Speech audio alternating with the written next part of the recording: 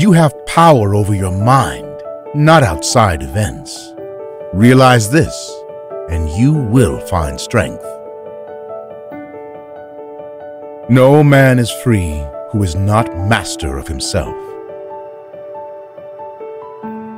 We suffer more in imagination than in reality.